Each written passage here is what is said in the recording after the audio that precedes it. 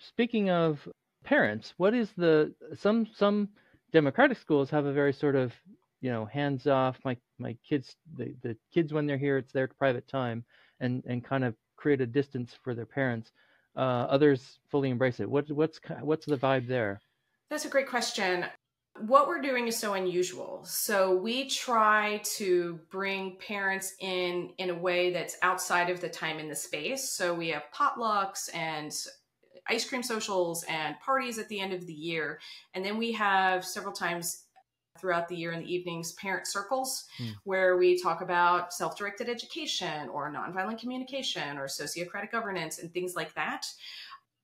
And then we try and keep everything day to day within Embark in Embark. So mm-hmm. that's, you know, running Embark is them, is the young people.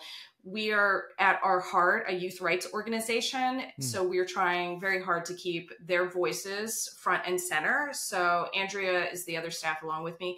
We really try hard to get out of their space and we mm-hmm. will check each other too. We'll notice it like, oh, that was super adultist of what I just did. Sorry. Let me get out of the way and let me create space that your voice can be first because outside of these walls your voice is not going to be first so that's that difficult you know delicate dance that we do with parents because this is the young people's space mm-hmm.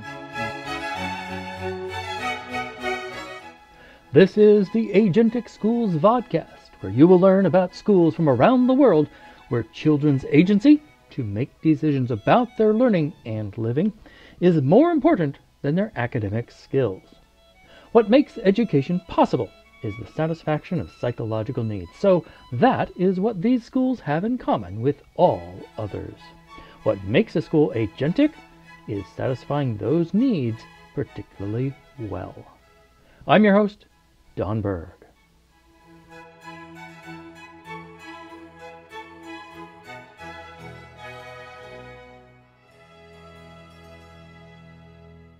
Hello and welcome to Agentic Schools.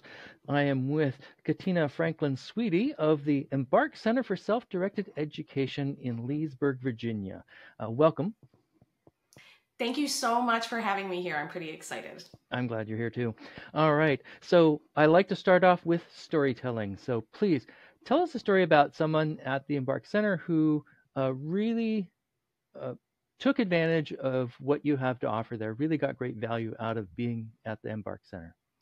Oh my gosh, it's such a hard that's such a hard request because there's so many people that I can choose from.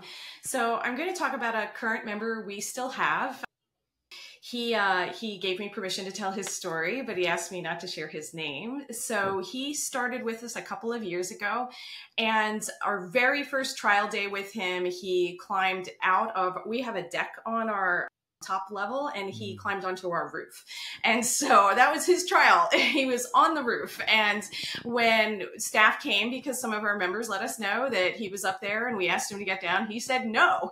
And I remember thinking, I don't know how this is going to work out. this is going to be a real challenge. And so that was kind of what he was like. He really had this sort of, as we like to explain some of the observations that we have with Embark is when people come from traditional school with all mm. of the trauma that they bring with them, some people sort of they implode a little bit like they mm. they pull it inside and then some people sort of explode out and so we can see demand avoidance and mm. you know not the greatest strategies for navigating conflict and so he was the explode guy and so there were constant conflicts with him in the beginning with other members and choices he was making being safe in the space. And he really really was struggling in the beginning being there. And so when we would work together about how he could be there it was things like you could only come in for one hour a day or you can only come in for a mentor meeting or you can only come in for a class. And so he sort of built himself back up into being able to be in the space full time. Mm. we sort of described it as taking a baby and throwing them into the deep end of a, bowl, a pool and being like good luck.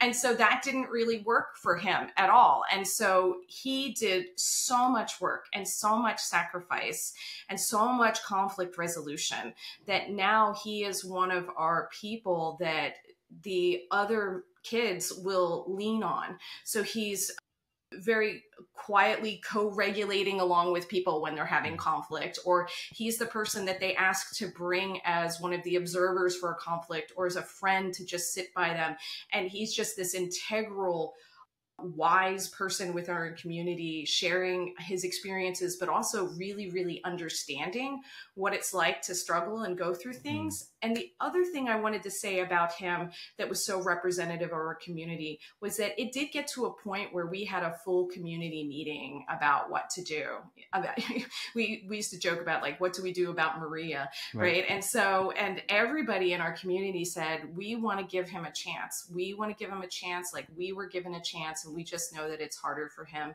And he really is one of um, everybody at Embark is valuable. Everybody is important with what they bring.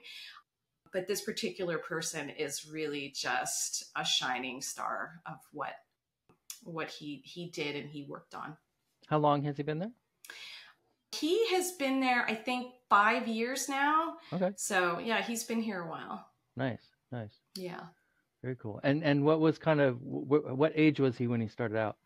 I think he was about 12. No, no, okay. that can't be right. I think he was 11. Okay. Yeah. Very cool. Very cool. Yeah. Yeah, so so talk about some of those structures that you that you mentioned that that really came into play in order to to help him become an integral part like talk about some of the you know the conflict resolutions like like some of the handling of something you know getting up on the roof seems really outrageous in some ways. And so so what was the process what was the organizational process to handle those those issues that's such a great question.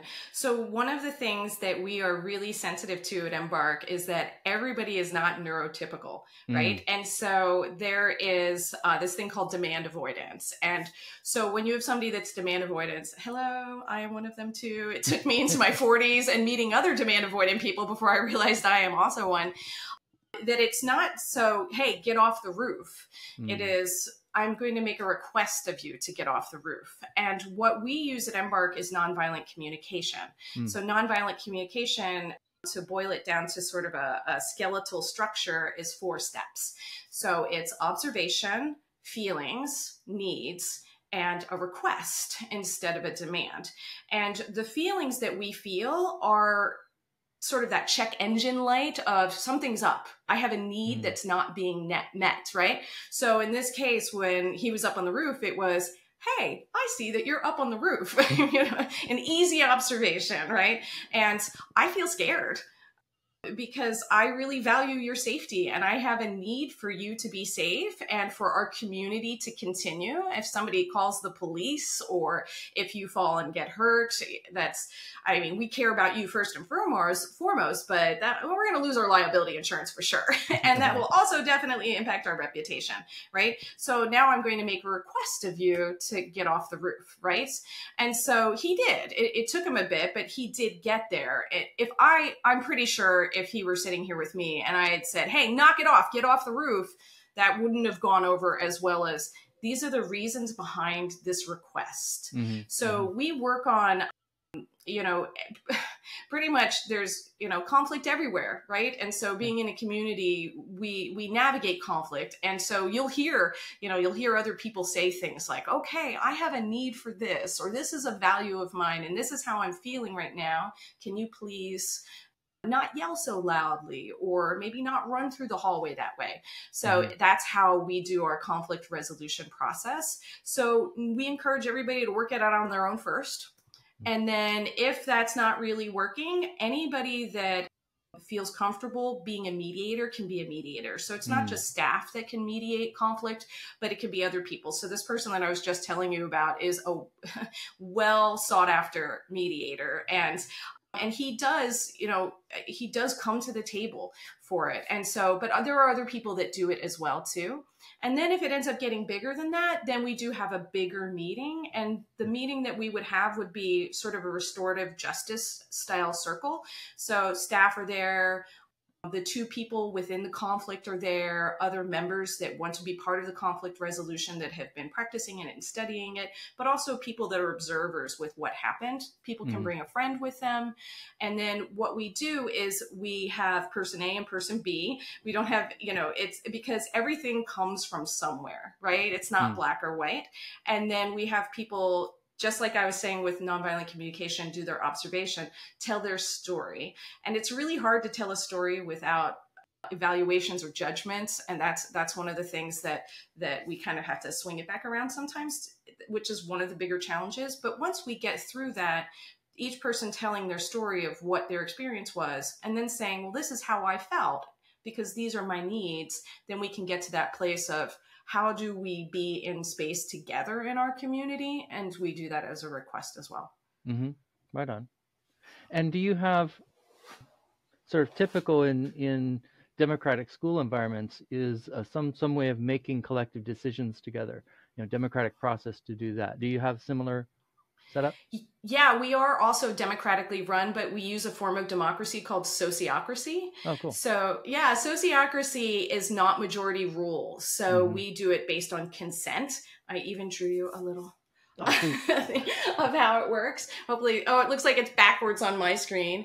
Um, but this first circle here is your zone of preference, right? Okay. And then outside of that is your zone of tolerance, and then is your objection. Mm. So we we strive to integrate the objections into the decision so that everybody has a voice in the decision making process. Mm-hmm. Mm-hmm. I have a good example of it where we ended up not choosing what the proposal was. So somebody said, Hey, we should get an axolotl, you know, those little water yeah. salamanders.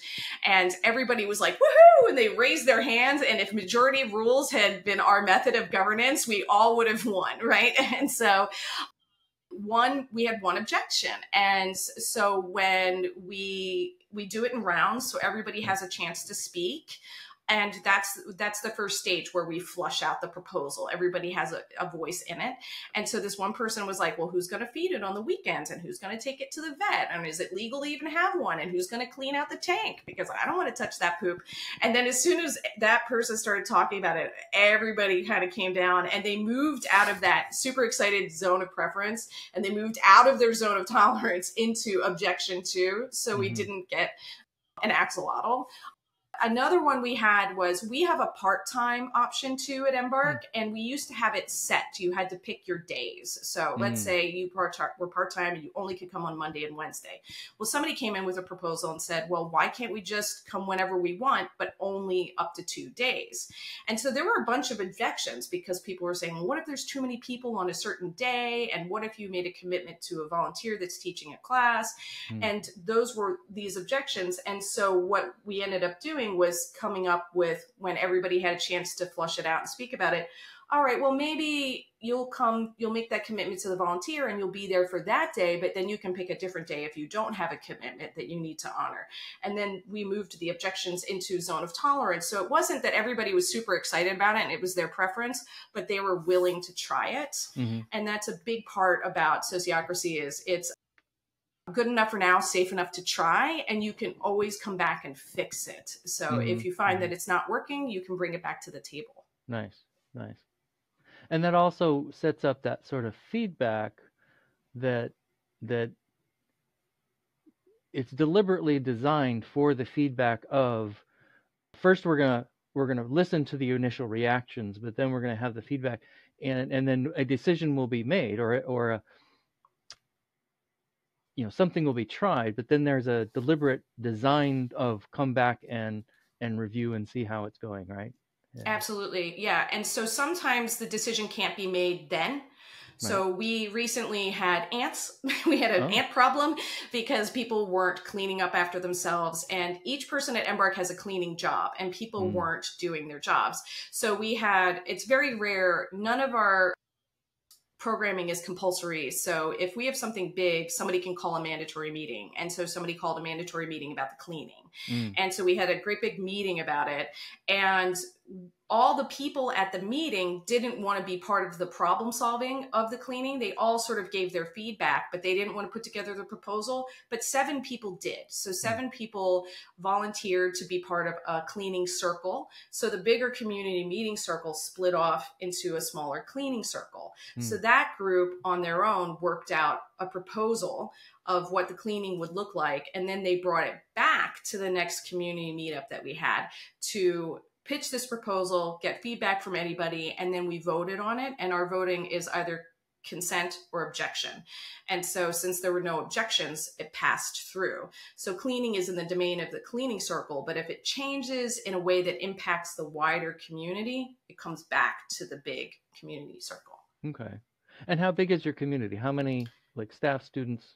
So total, we have 29 staff and students. We call our students members because we're trying to move away from the schoolish way of thinking. Sure.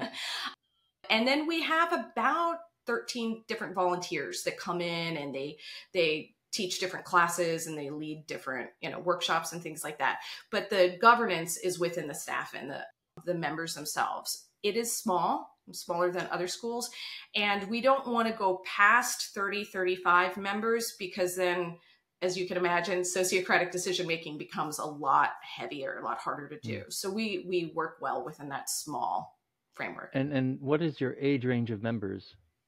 Right now we're ages 10 to 18 and we mm. had had a 6-year-old for a little bit. Um, but he was sort of on his own. The next oldest person was 12. And so when we got feedback from him that he didn't want to return to Embark, community meeting came up with another policy, which is the, whatever our youngest member is, we can accept somebody one year younger than that down to six years old so that that mm. person doesn't feel so alone. Even though people really don't know each other's ages, we're totally age mixed. We don't segregate anybody by age at Embark. But if you're the only six year old, it can you can feel it. Kind so, of obvious, yeah. yeah, yeah. Yeah. Yeah. I know in uh in some other schools they well specifically the village free school at the time when i was doing some work with them years ago um, is they just they set they, they ran from i think 5 to 18 but what they did was that they found they wanted to maintain a certain balance so they set some ratio limit mm. so that so that they would have you know they could be heavy on one age group but they couldn't like like you couldn't just de-enroll all the teenagers or whatever or the youngers either way you know it can go either way sometimes. Yeah. And so they they just set some some boundaries around maximum number of i think it was the first one they had a maximum was the youngers. Mm-hmm. and then eventually i think they had to maximize you know had a maximum on their teenagers or something but but you know those dynamics change over time so they but that's how they did it was kind of ratios but that's an interesting solution too yeah. Um, yeah, I like that one. We tried that one too with a cohort of ages. Mm, mm-hmm. And then, but then this is our current policy. Right. Yeah. yeah. And that's that's another aspect. The key aspect I think of a lot of these centers is that this is what works for now and it's nothing mm-hmm. set in stone so. Yep. And it changes through the years because right. people change and their needs change. So we we are very flexible and so sometimes it can be it can be a little challenging to explain how things work when we know that a new group of people can come through and say hey why don't we try this? What do you think about this? Right right. Now in in your center that like are there are there like code words and special jargon that you've developed that that that seem interesting like might be might be interesting to others? Oh okay we do have a great one. So when somebody says something weird or there's a weird phrase hmm somebody will say, "Oh my gosh, that's a band name," and so we have uh, chalkboard walls in a lot of places in the building, and one of them is filled with bizarre band names of all these crazy things that people will come in and say. And so we've had adults come in for tours and to meet with people, and they'll say, "Well, I've got a band name," and some of the members will be like, "Sorry." You're not a member here, so you can't write a band name up on the wall. so, yeah, we have that. I think one of the cool things really to hear is overhearing people talk through the process of nonviolent communication and i don't think they know they're doing it oh. so we have a minecraft communications class, which is really fun. I when I first got to Embark, I was still working on my own deschooling, even though my kids never went to school and I was mm. one of these rebel teachers within school. I got there and I thought, let's have this Minecraft class and we're going to build Pompeii and we're going to blow it up. And nobody wanted to do that in there. They really just wanted to play Minecraft together. So I like playing Minecraft and I'm playing with them. And then conflicts would arise, you know, so and so would spawn like 6,000 unlimited chickens. And then, you know, the whole server, server would lag out. And that was this incredible opportunity to practice conflict resolution within a game. Hmm. So now you'll hear them say things, and, you know, they'll say, well, you know, I have a need for peacefulness or I have a need for the game not to be lagging out, you know, and so is there a way we can navigate this together? And so that's, that's always great. We tell parents that really what Embark is is a place to be in community with people and mm. to learn and grow about about who you are and what it's like to be with other people. You can get all the academics. You really can. That's easy mm-hmm. right? But learning how to collaborate and be in space with somebody that you really don't like and how, what that looks like. We are in an old home. So mm. our building was built in the 1790s wow. so it's this really cool old house in downtown leesburg and people can walk into town and things like that. So it doesn't look like a, a school at all. And people have freedom to move throughout the building but it's still you know we've got 29 people there so you're not going to get your own room so how do you mm-hmm. navigate being in this space together so it is kind of cool hearing that we're very very respectful for LGBT community and we want to build more diversity in our community. So we had somebody recently that was really struggling with being in the space with somebody that he didn't like.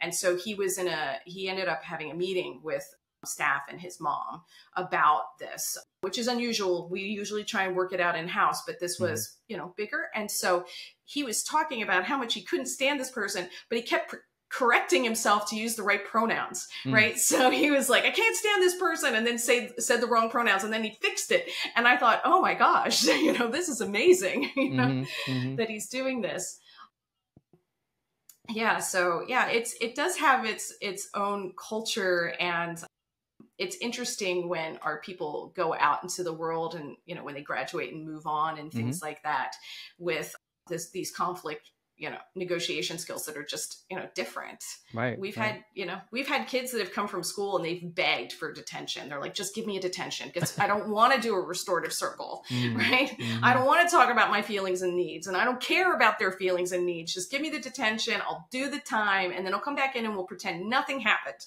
and we're like oh Sorry. yeah, yeah, yeah. It's interesting. So, so, uh, how how when was the Embark Center founded? Like, how old is the school? So we were founded in 2017. So we're in our seventh year now. Seven years. Okay, very cool. And and speaking of parents, what is the some some democratic schools have a very sort of you know hands off. My my kids the the kids when they're here, it's their private time and and kind of create a distance for their parents. Uh, others fully embrace it. What, what's what's the vibe there? That's a great question. What we're doing is so unusual. So we try to bring parents in in a way that's outside of the time and the space. So we have potlucks and ice cream socials and parties at the end of the year. And then we have several times throughout the year in the evenings parent circles mm. where we talk about self-directed education or nonviolent communication or sociocratic governance and things like that and then we try and keep everything day to day within embark in embark so mm-hmm. that's you know running embark is them is the young people we are at our heart a youth rights organization mm. so we're trying very hard to keep their voices front and center so andrea is the other staff along with me we really try hard to get out of their space and we mm. will mm-hmm. check each other too we'll notice it like oh that was super adultist of what i just did sorry let me get out of the way and let me create space that your voice can be first because outside of these walls your voice is not going to be first so that's that difficult you know delicate dance that we do with parents because this is the young people's space mm-hmm. Mm-hmm. but you you yeah yeah and, and there's a certain amount of like when when the issue rises you welcome them in and, and, and have the conversation, but it's it, it is and and so so how do you talk to parents like like or even random person on the street, uh, you know, preferably somebody who might be interested, but but like how do you approach that conversation? How do you in, introduce somebody to what Embark is when they're not familiar at all? Oh my gosh. So that has definitely evolved for me through the years because I used to be scared to talk about what we mm. do because it's so unusual and i didn't want people that are mainstream school people to to be offended or angry about what we do because it's mm. different than traditional school and sometimes people can get defensive about something like that. So when we first were doing our messaging, we really leaned into we're an alternative to school. We're not school, mm-hmm. right? And then we sort of leaned into the self-directed education part.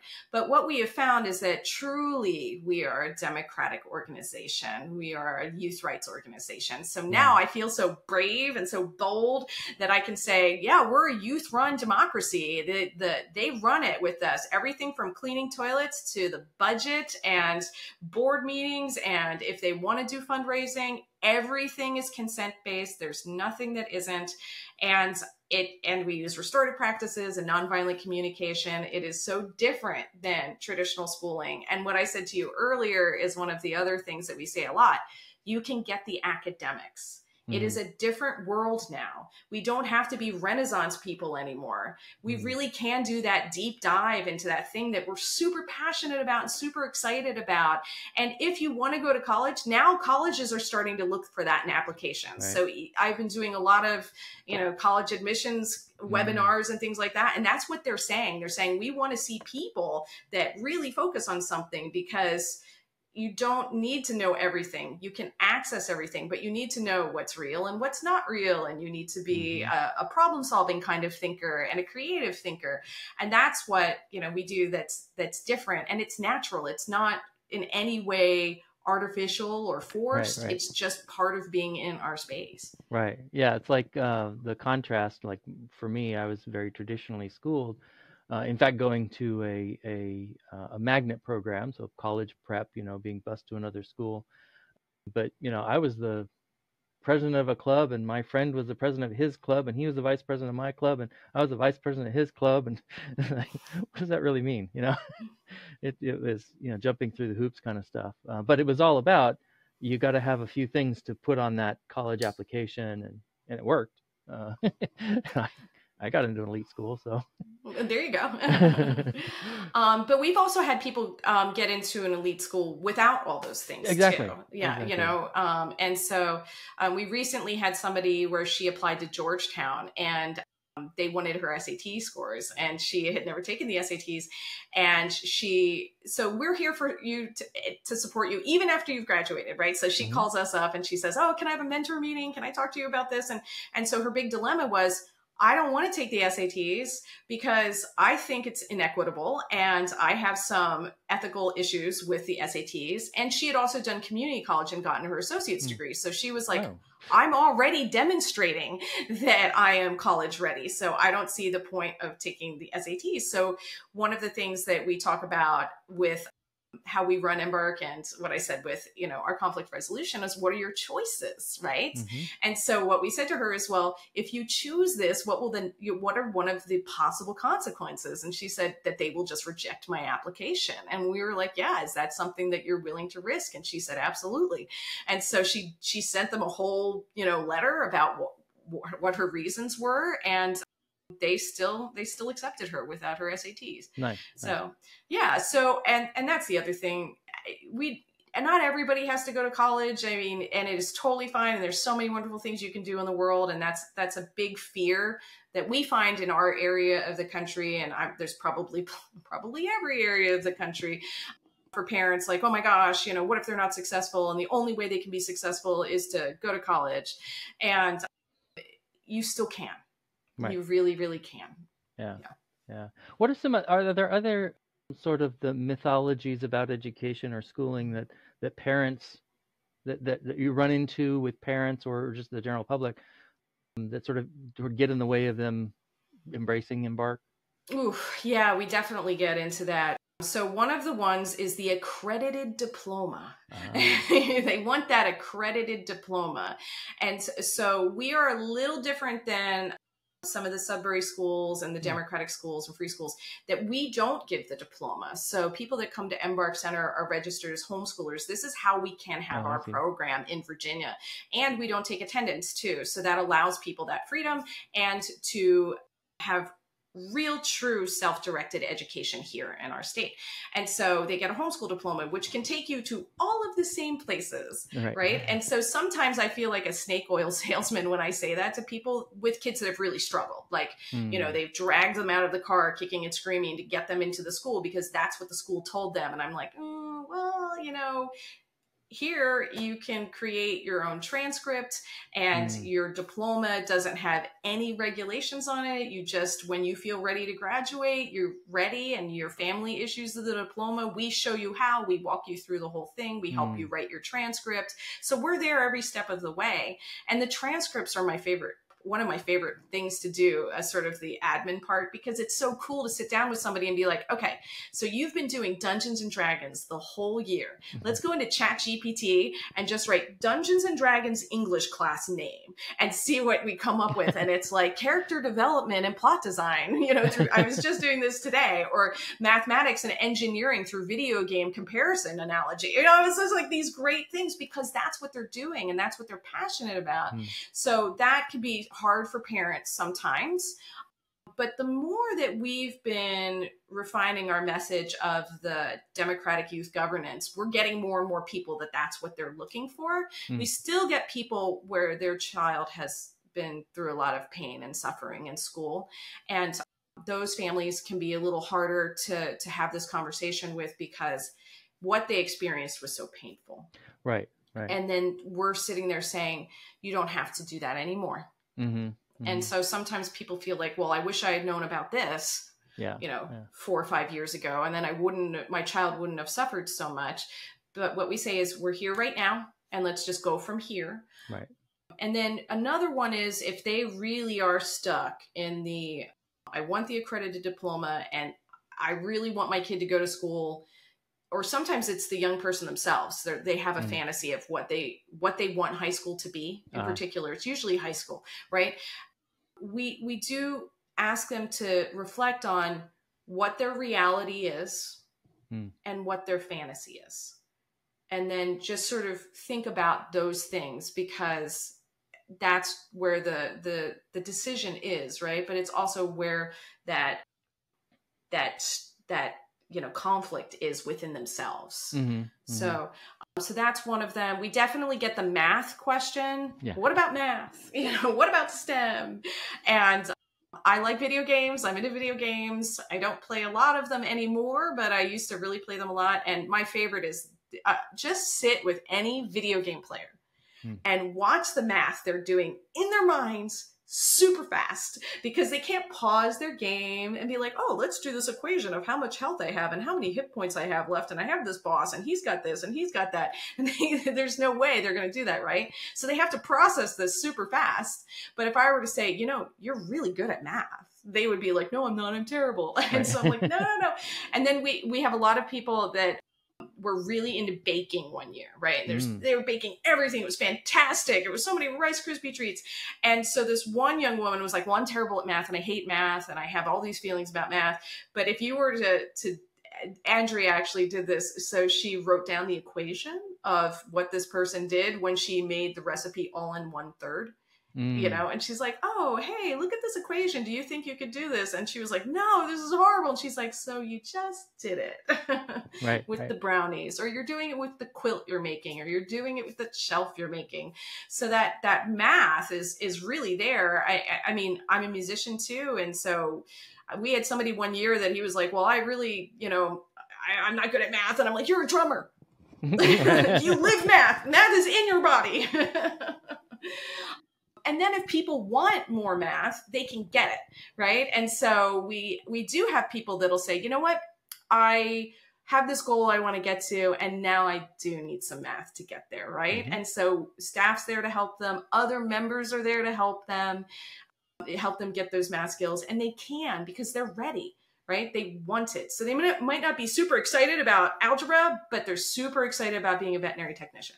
Right. Right. So they're willing to do it then. They have that internal motivation, right? That self determination theory. Mm-hmm. And so they have the internal motivation to do it. Mm-hmm. So, yeah, definitely math is, is one of the big ones. And what I like to say to people is that I don't, you know, I was one of those people that felt really bad about math, like I was terrible mm. at it. But it wasn't that I hated math, I felt shame about right. math, right? I felt a deep sense of shame and embarrassment and fear because when I went through school, I was one of those kids that was being pushed further, right? Or I couldn't do the timed multiplication test when I was 11. So I missed recess almost for an entire year until I could get that test going, right? So then it was, I'm bad and I'm terrible at math, but then it was, I'm bad and I'm terrible as a person, mm-hmm. right? Instead of it just being, oh, well, you know, maybe the times multiplication test isn't your thing, right? right. Go catch a snake, you know, yeah. instead. Yeah. yeah. So, so, so are, are you a co-founder of the Embark Center? No, no, actually, I was about an hour and a half further south and I was in the process of starting a Sudbury school. I oh. really wanted to start a Sudbury school and I had been to Sudbury Valley and Arts and Ideas and South Jersey Sudbury School and I loved it. I loved visiting them and spending time with them. And Andrea, at the same time I was part of trying to start the Sudbury school, she was starting Embark Center for uh-huh. self-directed education. And my children, who at the time were, I believe, 11 and 13, um, and they had never gone to school. So my husband and I felt strongly that school is your choice mm-hmm. and you should be able to choose that from you know, four years old, right? So we always ask them, you know, do you want to do this? Is this important to you? Do you want to try it out? And they'd always say no. And I would, I was still teaching in school at the time. I was a band clinician. So I was your hmm. person that came in and worked with your clarinet section and stuff like that. So sometimes they would come with me. So they got to come into school and see what school was like. And it was band and people want to be in band. Right. and my kids are like, why does, why does everybody try and get out of here so fast? You know? And so they weren't getting any younger right? And so it was taking me a long time, 18 months to start the Sudbury school at this point where my my oldest kid said to me, Hey, I, I don't want to wait for this any longer. You mm. know, I, I really want to be a part of a self-directed education community. And so I called up Andrea and I grilled her. You know, I was like, okay, uh, is this a real self-directed education center? Like do you have a secret agenda in there? Like can they play video games all day? Can they sleep? You know can they um, you know how does this work you know how does this all work? You gotta make them do math. And and so andrea had said to me she was like you know, no, no, we don't make them do anything. And then, and then she said, would you ever want to work at a place like this? And I started to cry and I said, yes, that's my dream. That's what I want to do. So I shifted mm. because it's hard. It's hard to start a school. It's hard to start a center. There's so many things that go into it. And I kept getting tangled up in different, you know, regulations and zoning and Andrea had already taken care of all of that. So we, we went that direction instead. Nice. Nice. Yeah. I know yeah. how hard it is because I, homeschooled other people's kids for about five years in here in Portland, back in the late '90s into the early 2000s. Um, started and crashed the program multiple times, so yeah, uh, you know, I know I know how it goes. yeah, yeah, it was e- it was easier when somebody else had did it, and I just go there. yeah. Right, right, right. So, so actually, but that does raise raise an interesting question. You know, you, you one of the things you mentioned when you were concerned about someone on the roof is insurance. Mm. So so are there what is what is Embark's relationship with sort of states and and local municipalities and things like that? It, like do you have people you're interacting with and they they get it or or are you sort of putting up a facade to oh, that's a great question. So we are a homeschool resource center on paper. Yep. We're also a nonprofit. Mm-hmm. So we have had so much support from the community. The very first day we were open, people left and they went in this walk in town and i think they went to a playground and and the police came. Somebody called the police. And so this this police officer comes in and he was like what's going on? I, people kids kids are leaving this building and walking out of the building. They should, why aren't they in school? And so andrea explained what we were and what we do and this police officer goes oh wow i wish this had been around when i was a kid. And so and so that's what we end up getting from a lot of people. I yeah. wish this had been around when i was a kid and we haven't really run into anybody that hasn't been excited about what we do. We're the only one like us in Virginia, which is such a bummer. So people are kind of, you know, proud of that, that we're part of our community. I was joking around with some of the members with our social media account. And I was saying, you know what we should do? We should go to all the stores that you guys shop at and do a who are the people in your neighborhood from Mr. Rogers? And then of course they're like, who's Mr. Rogers? And then I feel really old. but but yeah, so far everything is is great. So yeah, we we are a homeschool resource center and that's how we are you know functioning here. Mm-hmm. we love being a nonprofit. We have need-based financial aid for people and that's been really helpful for some families. We really want to build you know financial diversity as well as all the other diversities too so. Right. So so how how geographically wide do you draw from? Like, is it oh, is it pretty far? Yeah, it's pretty far. So we're in uh, Loudoun County, which is sort of the northwestern part of Virginia, and we have people coming from Fredericksburg, which is about two hours away. Wow. We have another person coming from Maryland, and they stay. They they like a short-term rental. Mm. It's it, and um, we don't want that. That's not what we want. We would love every community to have a place like us. Mm-hmm.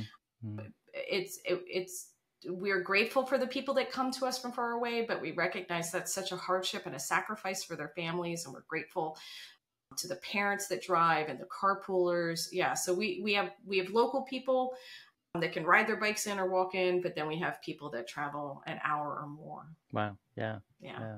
That's interesting. Do do you aspire to replication at some point in the future? Oh, that's another great question. So at this point, we are so happy to support anybody. So send me an email if you want to start a center, if you want to start a school. I, we are here for you. Andrea was a founding member of a Discord server for self directed education facilitators. So mm. if you need that information, please send me an email. I will get it to you. We don't want to replicate us mm. because it takes so much just for us to run Embark Center. Mm-hmm. It, it feels overwhelming to start another one right now. And the other thing that's really interesting is if we were to do it within our nonprofit, within the umbrella of that, it would push our revenue over a certain number and then we would be audited by the IRS.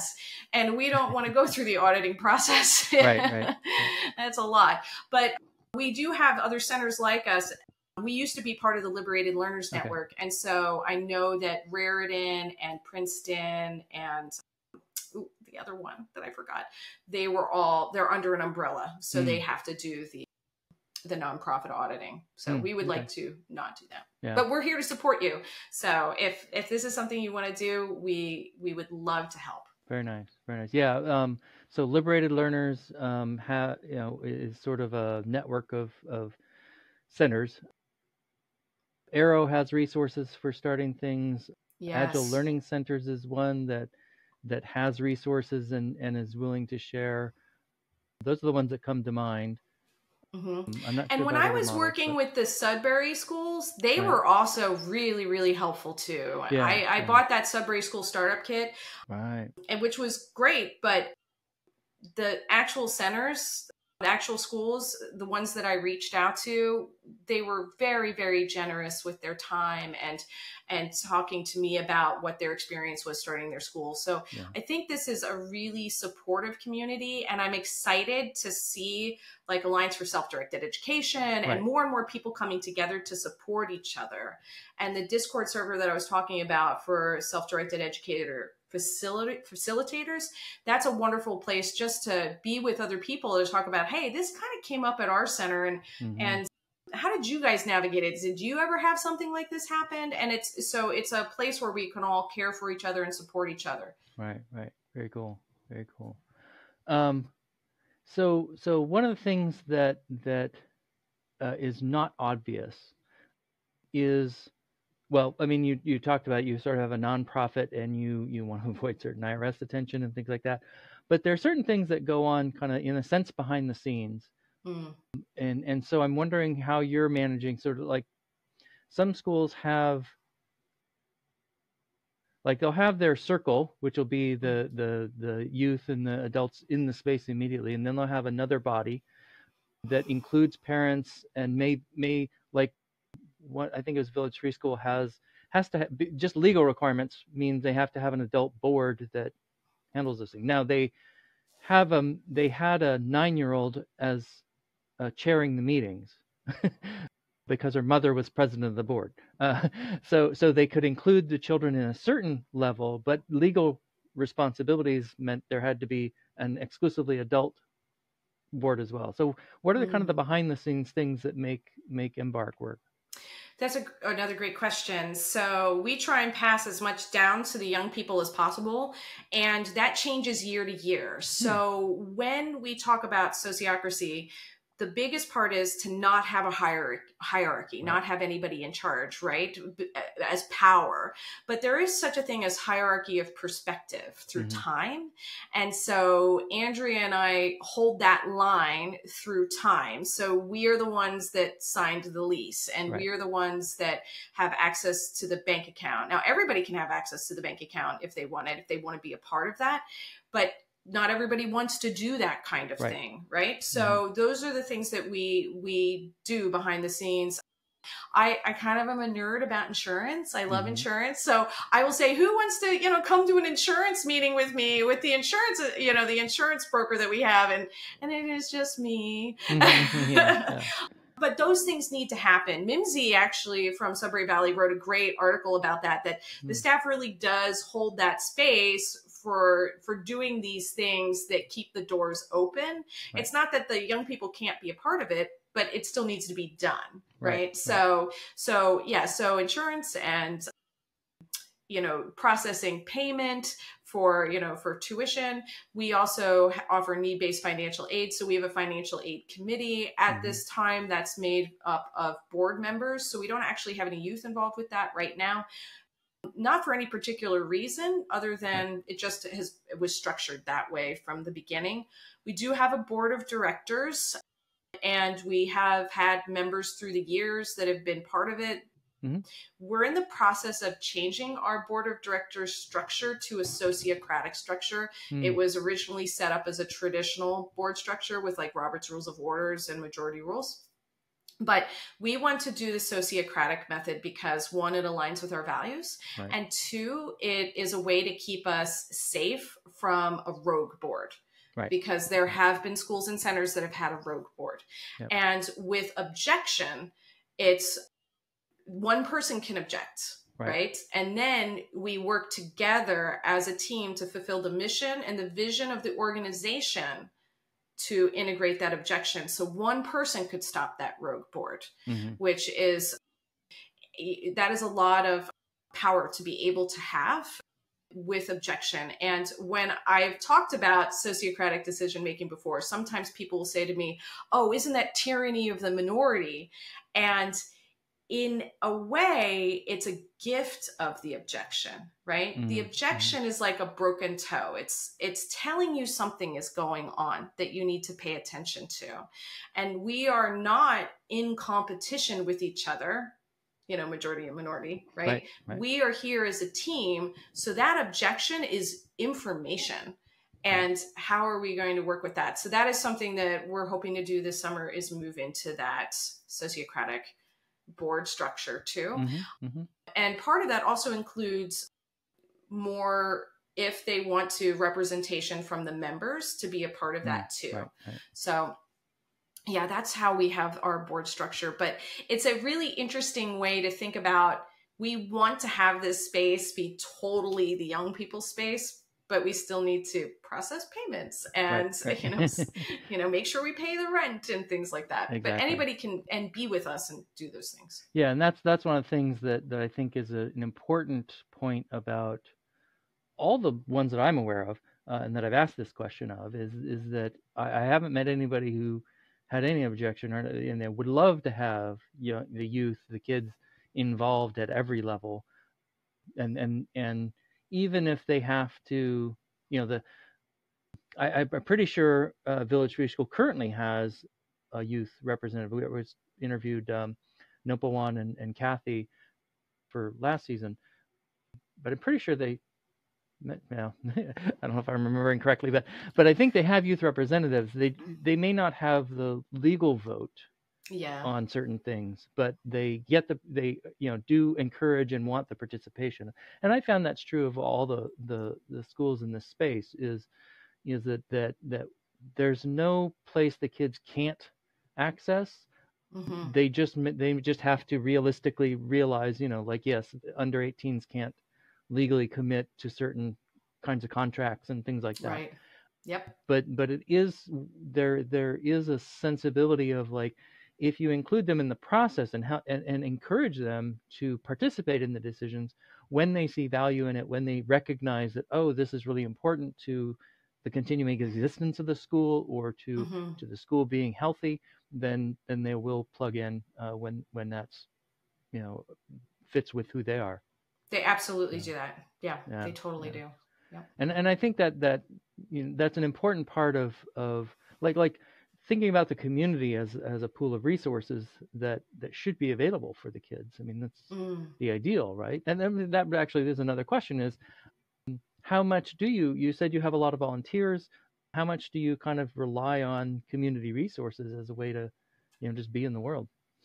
oh, that's a great question too. I love these questions the what well i have a little bit of a subversive rebel in me so i love having the volunteers come in not just for what they can share with the young people but also so they can be in a space to see what it's like right, being right. run by young people right mm-hmm, so mm-hmm. i love it when they can come in and be a part of this community and see oh my gosh these kids are playing unsupervised right but and they're okay and they're they're working out conflicts and they're navigating being here together and this is amazing and they they get to choose what they want to spend their time with and and one of the things that i want to say is that even though we have people that come into our space as members that are like, I totally want to do this thing. I can finally study medieval Indian weaponry. we have just as many people that are like, I don't know.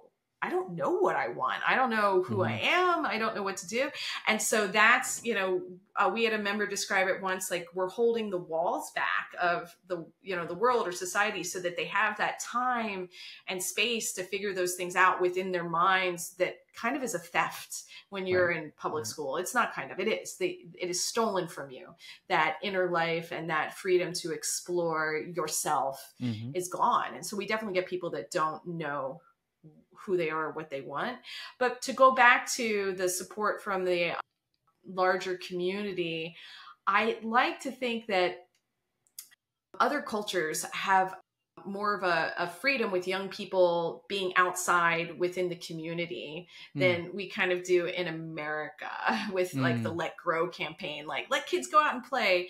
And I really love our location in Leesburg I lo- except for that one time with the police officer, we've only had one other issue, and that was one kid that would go to. We have a candy shop that everybody mm. can walk to, which is thrilling, and they had free hot chocolate, and so he was struggling with cleaning up after himself. I don't, it wasn't anything other than he went in and made a hot chocolate. He was so excited he left without realizing he left this huge mess in a mm. store.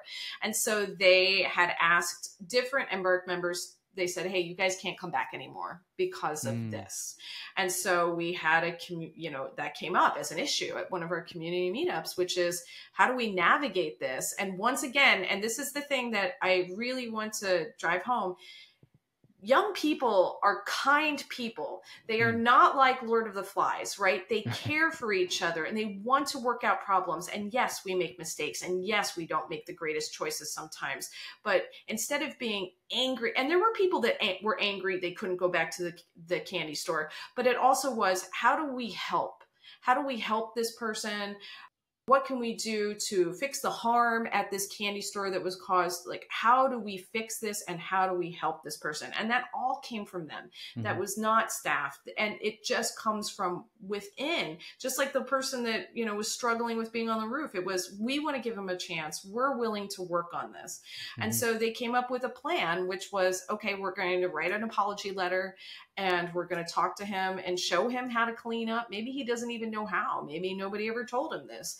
And they pulled all their money together and they bought flowers and they went back and they said, we're, we're, we want to apologize, but we also accept if you still don't want us to come back. Mm-hmm. And we're willing to accept that. But this is just nonviolent communication also has methods of complimenting and thanking people and apologizing. And part mm-hmm. of mm. it is this is what we you know observation this is how we felt this is how it looks like you felt these are your needs these are our needs and this is what we're going to do. And then how can we fix it? What can what are your what is your request from us?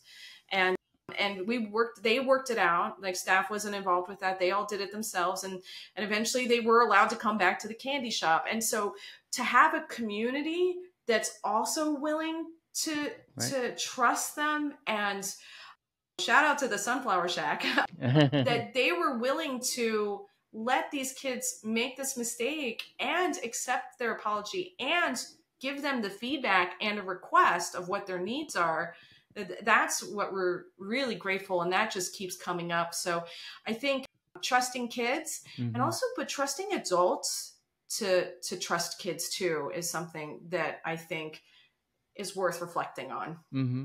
Mm-hmm. nice nice very cool. Let's see. Checking my. Oh, uh, well, you kind of handle that. Oh, so so, so it sounds like you have sort of the the open screens policy. Has that uh, been just kind of the, the constant, or is there has there been struggles with that? Has that been something? Another great question, and that the struggles with that usually comes from parents mm-hmm. more than the young people themselves. We consider screens, like Peter Gray says, a tool of our time and our culture. Mm-hmm. And so yes, people use screens. I I teach a couple classes at Embark. I, I have a, the crazy crimes class, and inevitably we'll talk about what you know ten dollars in 1945 was worth. And so I'm, I'm, like, can somebody please look that up? you know, mm-hmm. I don't know what that is. Or um, can can I don't know everything. There's no way I can know everything, right? So sometimes somebody will ask a question and it's enough to derail my thought process. It's easy for me to get distracted too. So I can bump that to somebody else. I'll say, "Okay, can you look that up, please?" Mm-hmm. So we encourage people to to use their their screens and their devices the way that they need to. We've gotten a lot of feedback from people with anxiety mm. and people that are neurodivergent that the screens are very soothing I hmm. had to have a major surgery a couple of years ago, and I absolutely was playing Toon Blast, you know, right when I'm waiting in the waiting room because I was so freaked out. And so sometimes that is what people will use as a tool to sort of soothe themselves and calm themselves down. We have a lot of gaming that happens, and a, a, lot of the gamers stay together and they play together and they really are working together and collaborating right. together. So, some of the challenges that we have with that is they can get really loud and really mm. enthusiastic, and our building is 200 years old, and sometimes they'll, you know, they'll jump up and down, and we're like, hey, we're underneath of you, and we would like to stay, you know, underneath of you. So, it's things, conversations about hey, can you guys lower it? Or, or there are ways that we can problem solve around the volume of what you're doing. And then, you know, every now and then we'll have somebody that really stays on that screen. And then we'll check in and say, hey, how are things going? How are you feeling in the space? And most of the time, what looks like being totally absorbed and checked out is somebody that's really paying attention. Mm. And it's a wonderful tool to be present but also appear like you're not present. So mm. we will see people that will be sitting in a corner looking like they're playing Candy Crush, and they are playing Candy Crush, but they're still listening to the conversation and they're mm. still part of it. And that is maybe their comfort zone. And that maybe that's their way of easing into the community. we do get parents that are like, oh my gosh, I'm so freaked out about screens. I'm afraid they're going to get addicted to it and all these other things. So we do do conversations about that. What we have found is when people restrict the screens, then they'll come to Embark and only do the screens. Mm. And so because they're not getting fulfilled with that at home, they're going to eat it all up while they're with us from 9 to 3:30 and because they know when they go home they can't do it anymore right. so that has been one of our observations for certain people that really have that need to play the video games or collaborate with people and it really is very very collaborative but that is that is one of the things we have noticed mm-hmm.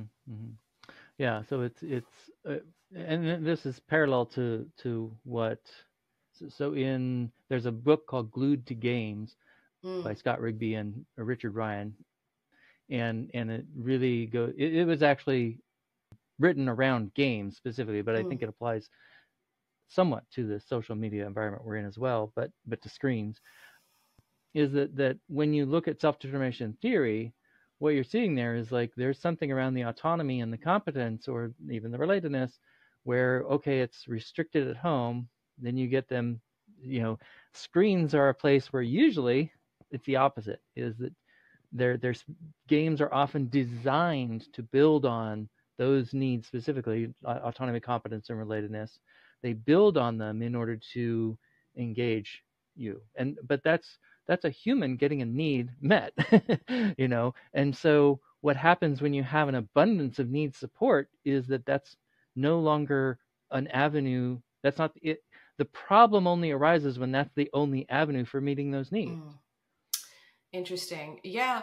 And I, you know, I don't know much about the problems that that people talk about that because I am sort of isolated in this other community where people can choose what to do with their time, right? And right, so right. We, you know, you can put that down at any time that you want to and do something else. And right.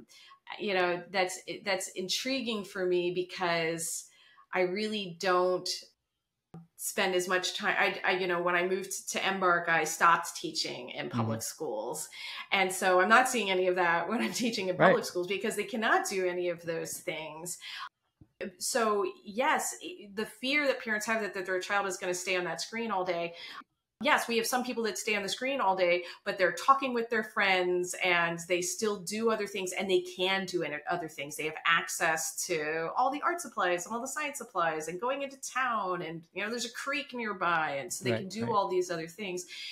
I think the screens are also a big part of the deschooling process for some people too, sure, sure. because like what you were saying with self determination theory, it's like autonomy is there, right? Now I can mm-hmm. do this thing and I am competent at this, man. I've got this thing. And even if I'm not, I can get there.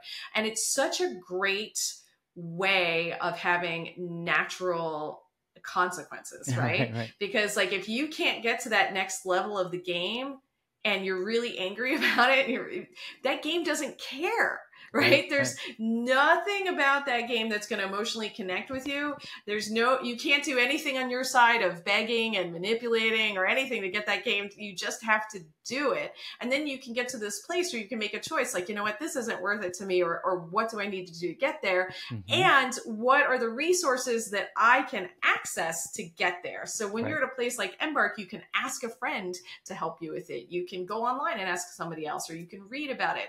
This is just sad bitterness on my part as somebody that used to play Mario when I was, you know, in the 1990s because I didn't have that. You had to go to like some weird flea market and find a magazine to find out how to get to the next place and that's only if your mom gave you a ride. so there's there's so many more ways to to build that connection and that relatedness but also the autonomy and the competency. Right, right.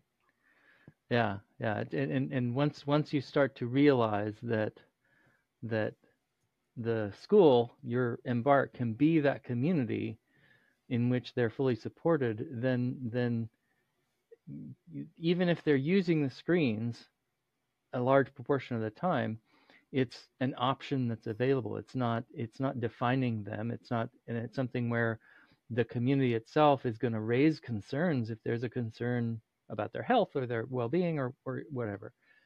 Mm-hmm. That's really important. We're getting yeah. to the hour mark, so let's okay. Let's start where we began, or big end where we began. with some storytelling.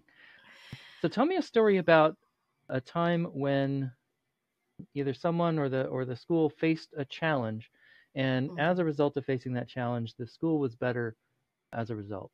Mm. All right, so this is going to be a school is better one. Okay, so I'm going to change the one I was going to tell you. So a couple of years ago, somebody's phone disappeared, and Somebody's what disappeared? their telephone, their Oh, okay. their smartphone was gone, and they looked through the whole building and they didn't know where it was, and so the assumption was that somebody took it. Mhm. and we had a, a mandatory meeting and this was a restorative circle. And what we did is we all got together. We our top floor is a loft area and it would have been the old attic. Hmm. all this comfy furniture and pillows on the ground. And so imagine you know 17 18 people up there because that's how many people we had at the time. And we did rounds where you could pass but i don't really think anybody did and we talked about what the impact felt like Hmm. for the possibility that somebody's phone was stolen. And so everybody had an opportunity to say how that felt for them, right? So I felt scared or I felt really angry and these are the reasons why. So we had, you know, somebody saying I feel really disappointed that somebody at my community would take something that belonged to somebody else and the person whose phone had been taken said, I just got here. Like, I just enrolled. And so this is my welcome. It does not feel, I do not feel welcome. And this is really expensive and my family doesn't have the money to replace it. And i so i feel really sad and angry and hurt. And then other people were were saying well now i'm scared that my phone is going to disappear. So we went around with all our feelings and we talked about our needs our need for safety and our need for connection and our need for community and our need for embark to stay open right? So Mhm. if people would you know go out into the world and say this is that what happens at this crazy school because kids are allowed to be there and run it. And so we problem solved what to do. And so there wasn't any finger pointing because you know nobody knew. Some people had some ideas but you never we never truly knew.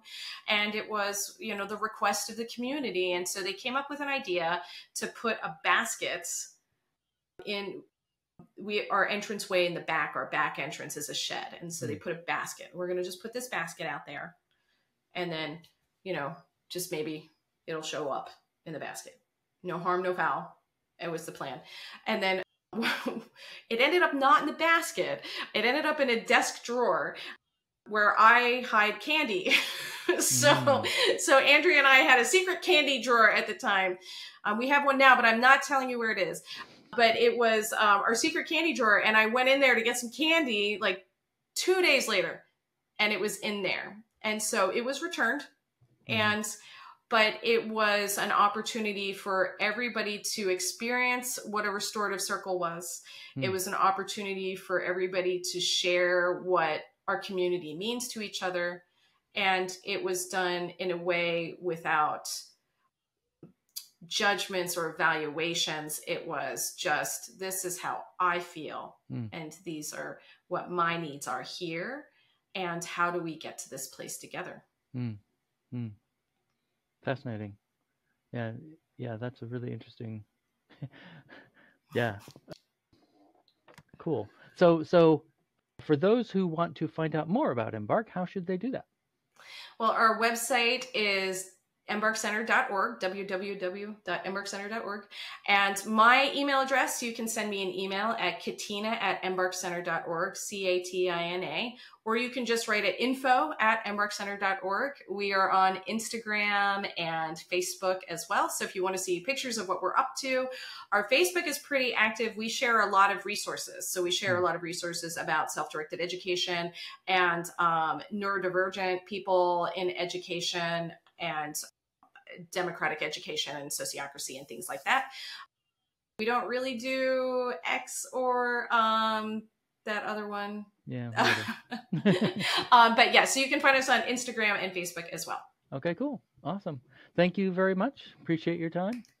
Thank you so much for having me. It was so lovely to talk to you. All right.